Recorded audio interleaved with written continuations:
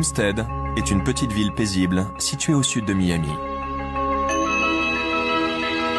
On y trouve l'un des édifices mégalithiques les plus mystérieux de l'époque moderne.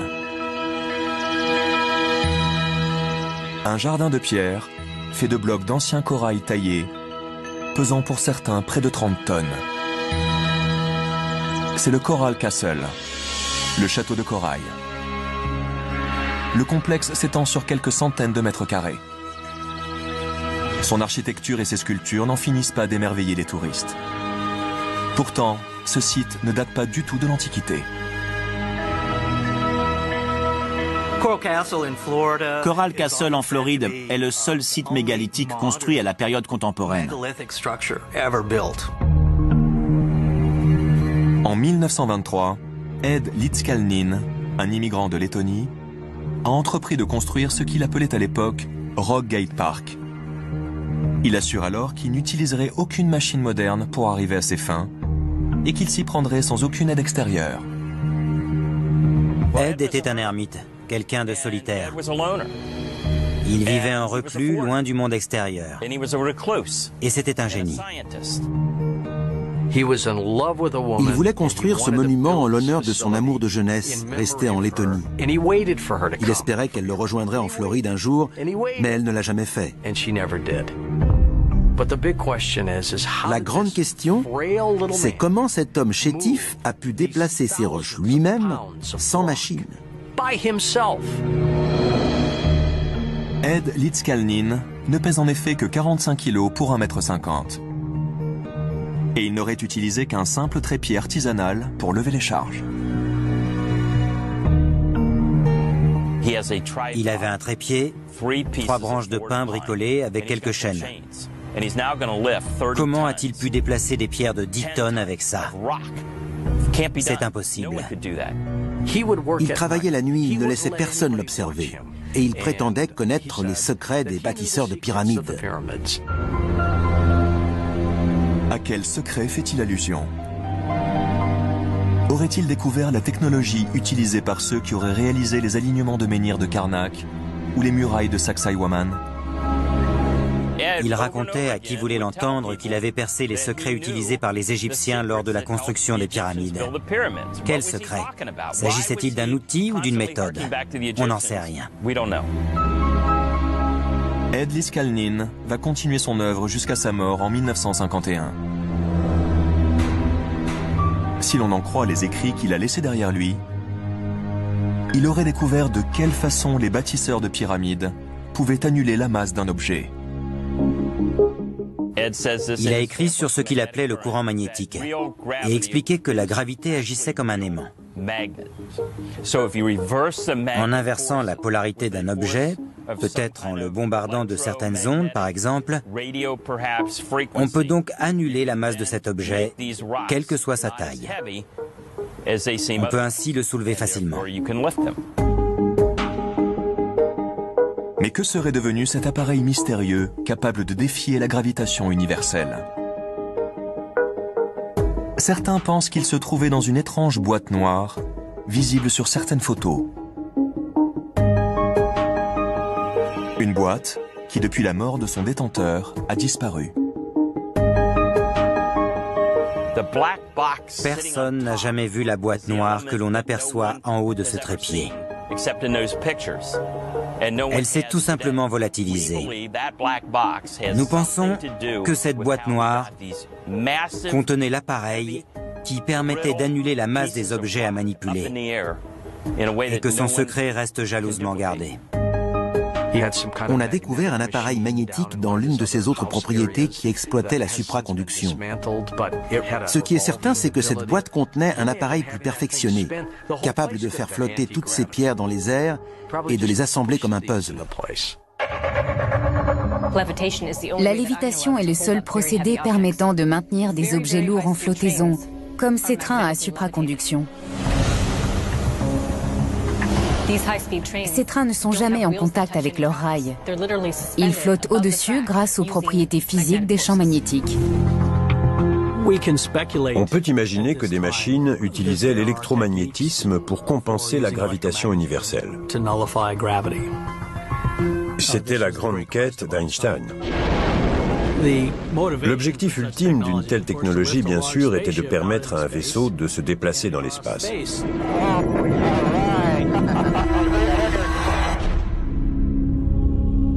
Ed Litzkalnin a-t-il réellement réussi à faire léviter des pierres afin d'assembler sans effort Coral Castle? Si c'est le cas, qui aurait bien pu lui apprendre à fabriquer ou à utiliser cet appareil? Il a emporté son secret dans la tombe. La question est, a-t-il inventé cette machine? Ou en a-t-il hérité de quelqu'un? A-t-il appris à la construire par tradition Ou grâce à l'intervention de quelqu'un d'autre? La seule chose que l'on peut dire, c'est que quelqu'un qui maîtrisait parfaitement les lois de la gravité a donné la possibilité à une personne de déplacer des pierres en les rendant extrêmement légères. Il n'y a qu'une explication. Cette technologie vient d'une autre planète.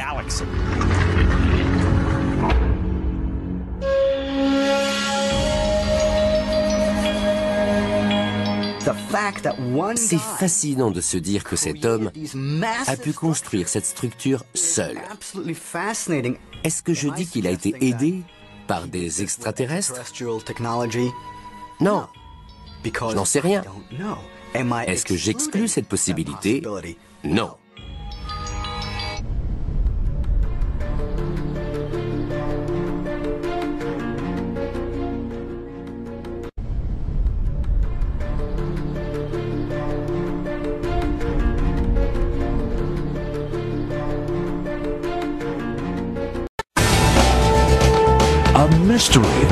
Cannot be explained. An enigma that defies reason. A surprising and unexpected answer. To encounter such a mystery firsthand may change your life forever. Face to face with the greatest riddles of the ages, the world's most profound mysteries reach out and touch your life in ways you never imagined possible.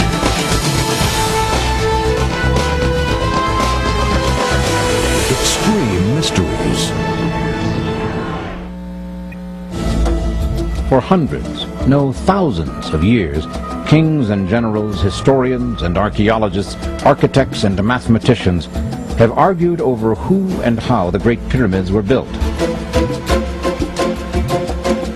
Is it possible the answer can be found not in some ancient Egyptian tomb, but in an amazing tourist attraction in modern-day Florida called the Coral Castle. Barely five feet tall and weighing slightly less than 100 pounds, a man by the name of Edward Leedskalnin seems to have accomplished the Herculean feat of quarrying, cutting, moving, and raising 1,100 tons of coral rock using only simple tools. Could he have done it by himself? Is it possible that one man, a small man at that, could cut, quarry and move these massive coral stones by himself. Could it be there is some secret of levitation or anti-gravity known to ancient builders that was rediscovered by Edward Leedskalnin? How could one man cut and set this nine-ton coral gate so precisely that even today a child can move it with one finger? The answer will amaze you. Coral Castle is perhaps America's most intriguing mystery. Like the Great Pyramids of Egypt, it shouldn't be there. But there it is, welcoming visitors every day into its unusual confines and its unbelievable history. Ed Leedskalnin said he knew the secrets of how the pyramids of Egypt were built, and I believe his claim was accurate. Did Leedskalnin somehow stumble onto some mechanism known only to ancient architects and use that knowledge to float enormous coral stones into place? Leedskalnin apparently devoted his entire life to this project. Was it a labor of love? Why did he always work alone and at night? What was the great discovery he worked so hard to protect? The epicenter of Coral Castle's mystery is Ed Leedskalnin himself. Who was he? Why did he leave Latvia? And how did he finally end up so far away in Florida? And is there evidence that the story Leedskalnin told visitors about himself and the castle was less than the entire truth? Ed Leedskalnin was born in Latvia in the year of 1887. There he trained as a cleric and also as a stonemason. In 1912, at the age of 26, he was engaged to his 16-year-old girlfriend Agnes Skuvst. The day before the wedding, she decided to call the wedding off, telling Ed that he was poor to marry her.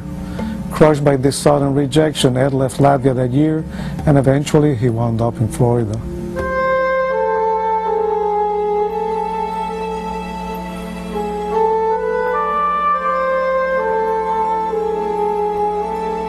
He constructed the Coral Castle as a future home for him, Agnes, and their children.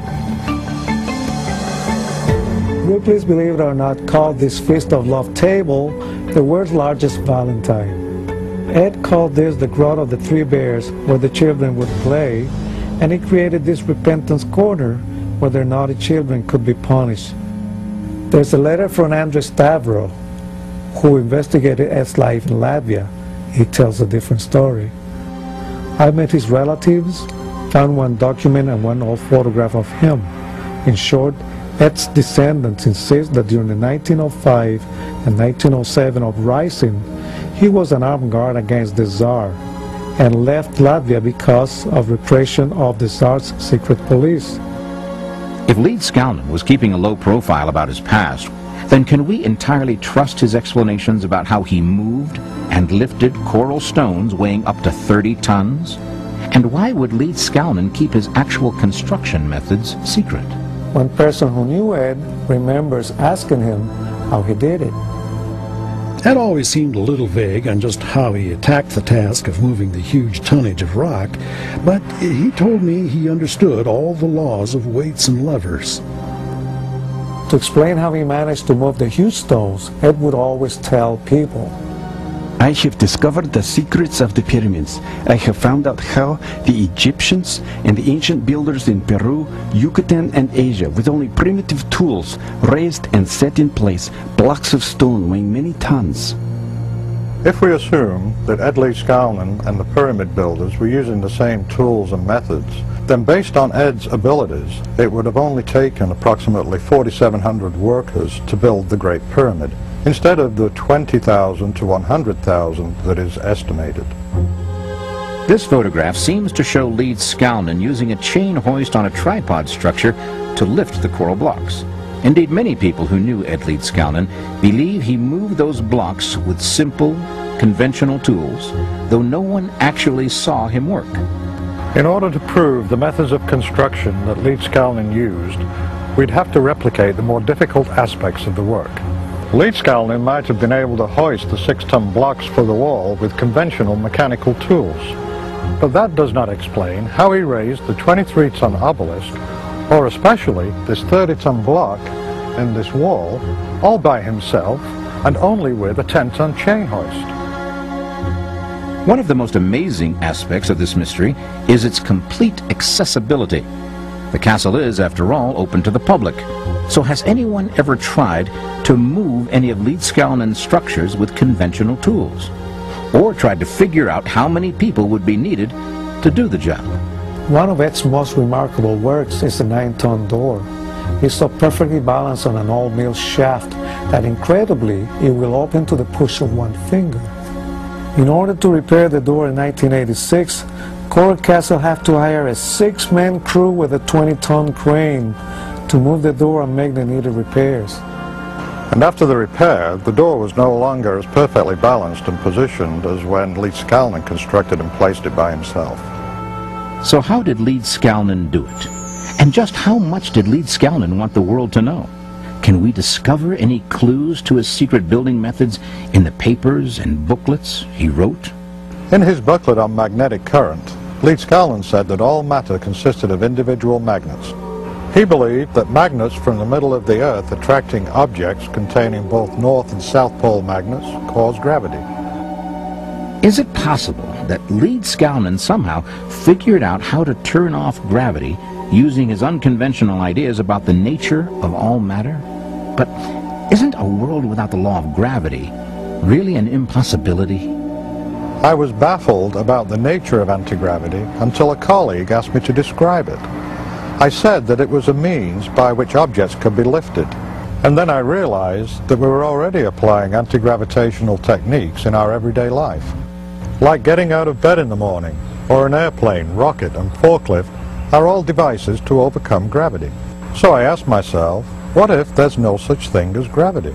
If, as Leedskalnin claimed, all things, all matter consists of individual magnets, could the known properties of magnetism explain gravity? Then I began to speculate that Leedskalnin was creating anti-gravity by simply flipping the magnetic poles in his coral blocks so they would match and therefore repel the magnetic polarity of the Earth. The flywheel in Leedskalnin's tool shop consists of bar magnets set in cement. It is mounted on a fourth row camshaft. But this photo of Leedskalnin with his hand on the crank may not represent the entire operation. It is possible that there was a reciprocating engine attached to the crankshaft so that Ed could walk away and leave the flywheel running. I believe also that it became part of a radio transmitter. This photo of Ed Leedskalnin working shows him lifting a coral stone with his chain hoist on a wooden tripod. The tripod was made of old telephone poles with a small wooden box on top. Leading out of the box was a wire cable that goes down towards the ground. What was in the box is of course a mystery, but I speculate that it contained radio tuners such as those found in his tool shed. In this other photo, Ed is standing on the crossbars of the tripod we can see that steps go up one of the poles to the small box. So it seems Leedskalnin needed access to the box while he was working, perhaps to adjust the tuners.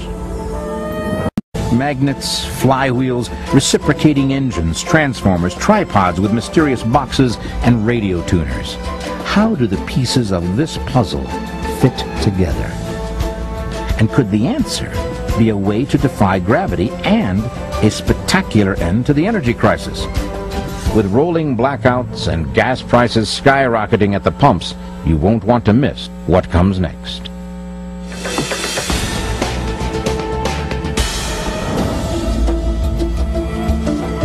According to reports, whenever someone came up to the castle and rang the correct number of times to gain entrance, Leedskalnin would cover up his tools before coming out to talk to the person. Why was Leedskalnin so secretive about how he moved the huge coral stones? People also said he had a sixth sense to detect if someone was secretly watching, and he would immediately stop working and simply putter around. There is a mindset called the Italian tile layer syndrome. These renowned tilers would go all over the world laying tile for important buildings and people. No one was allowed to watch them because they were protecting their trade secrets. I believe that Leedskalnin had this kind of mindset. Was Ed Leedskalnin so secretive about his construction methods and about himself that he even used a hidden code in his writings? Leedskalnin self-published this curious little book called A Book in Every Home. Following each page, he left a blank page with this explanation. Reader, if for any reason you do not like the things I say in this little book, I left just as much space as I used so you can write your own opinion opposite it and see if you can do better. It's possible that he left the empty space for the reader to decipher a code hidden in metaphors in his book. The code may ultimately reveal how he built Coral Castle. The book also talks about family life, Sweet 16, and how to raise boys and girls. One curious sentence says, don't raise girls too big by overfeeding them. Could raising girls be a metaphor for raising a stone? In Leedskalnin's writings on magnetic current, he suggests a series of experiments using magnets. Perhaps these experiments are an important key to understanding how Leedskalnin, using anti-gravity, moved coral blocks. That Ed's secrets lie hidden in code and metaphors in his writing is an intriguing possibility.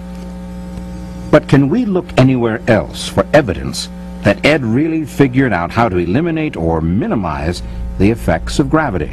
Did some neighbors penetrate the wall of secrecy and actually catch Ed? One legend is that there were some children spying on Ed undetected. and saw him floating coral blocks in the air like hydrogen balloons. There are additional reported incidents.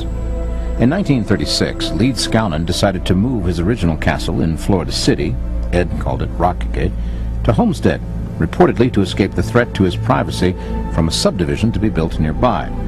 He dismantled the castle and moved it, stone by stone, to Homestead, where it is today. For the first and only time, Lee Skownon sought help with the move. Ed Lee Skownon hired a tractor to pull the chassis of an old truck that he had. He had the driver leave the empty truck and come back the following morning to haul the full load of heavy coral stone to Homestead. But once the driver came back unexpectedly after only 30 minutes. To his amazement, he found that the truck was already loaded down with several huge blocks of coral. The driver remembered. It was impossible to have stacked those gigantic blocks in under 30 minutes, even with a steam-powered derrick. And Ed had no equipment, just a simple tackle and chain hoist. Yet there they were, piled like cordwood. When the truck moved the 23-ton obelisk, Leeds Skownon told the driver that he would have it raised in position by the following morning. And indeed, when the driver returned the following morning, the obelisk was raised. But why did Leeds Skownon undertake the daunting task of moving the entire castle 10 miles from Atlantic City to Homestead, Florida? Was there a reason besides the prospect of a housing development close to the castle? And does the actual location of the castle itself contribute to its mystery? Some researchers believe that there is an energy grid that is formed around the entire Earth, an invisible pattern of energy lines that concentrate points of electromagnetic energy where the lines intersect. Did Leeds Skownon somehow learn the secrets of this energy grid? And is Coral Castle a power point? I've heard that it had a map of the magnetic energy points of the Earth. Ray Stoner, in his book The Enigma of Coral Castle, suggests that Liscani moved the original castle to Homestead not because of an encroaching housing development, but because a surveying error misplaced the original castle 10 miles from the energy grid. Captain Bruce Cathie, a commercial pilot and author, is considered the world's leading authority on the energy grid.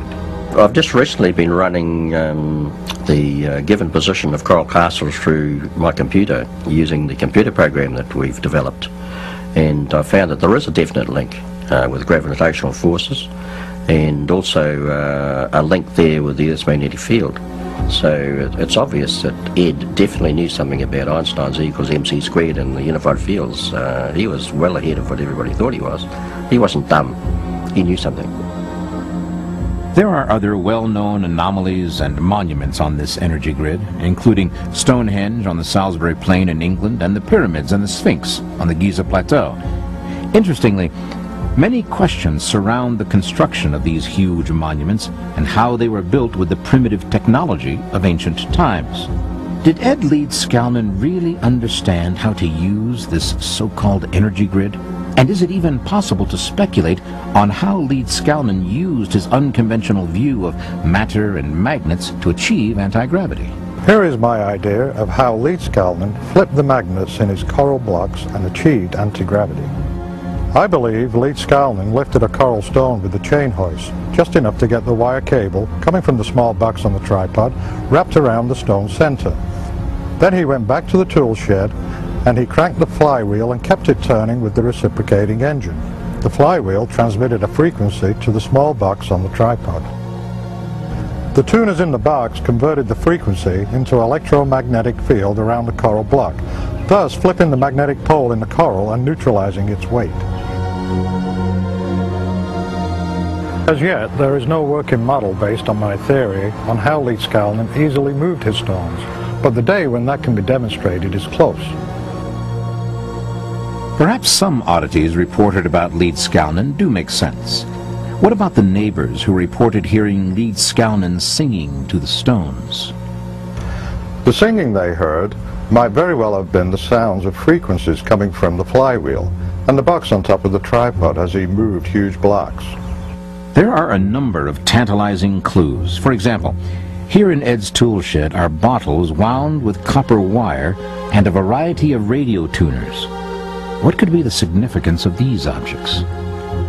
I believe Leeds Skownon was experimenting to find the frequencies that would work to flip the magnets in the block.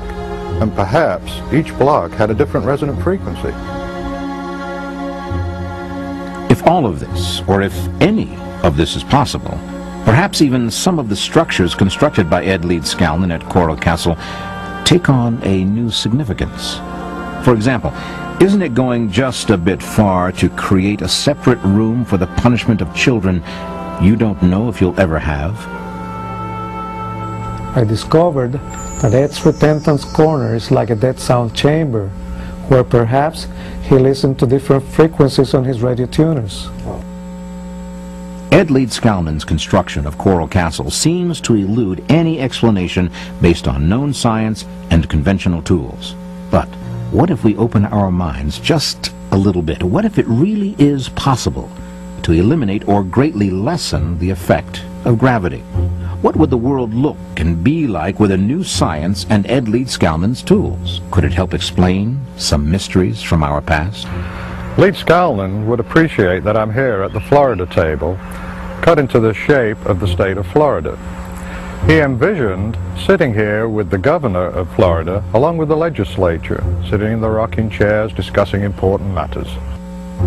If anti-gravity is the answer to Leedskalnin's construction of Coral Castle, it will be possible to finally know how Stonehenge, the Sphinx, and the Great Pyramid, and other ancient monuments were constructed, all unexplained by the primitive technology of their times. My research shows that the Great Pyramid was a geomechanical power plant that responded sympathetically with the Earth's vibrations, converting that energy into electricity. The Egyptians used the same principles of anti-gravity that Ed Leedskalnin understood and created an unlimited source of clean energy. The Great Pyramid and other ancient monuments were constructed, all unexplained by the primitive technology of their times. My research shows that the Great Pyramid was a geomechanical power plant that responded sympathetically with the Earth's vibrations, converting that energy into electricity. The Egyptians used the same principles of anti-gravity that Ed Leedskalnin understood and created an unlimited source of clean energy. Could we be talking about an end to the current energy crisis? And an end to rapidly escalating gas prices at the pump? And electric rates at home? Can we stop building costly new power generating plants? There is a small group of scientists in the world that have all this knowledge and they're using it. We're told in recent days that there's an energy crisis. They're having problems with creating new energy sources. Well, um, that's not true. The whole of the gravity field is energy, and uh, it'll never run out. Now, all these new energy systems, uh, all you'll have in the house will be an antenna on the roof, uh, a small box full of electrical circuits uh, hanging on the wall somewhere or in a cupboard, and you've got free power. That's all you need. This was done way back in 1931 by Tesla, Nikola Tesla.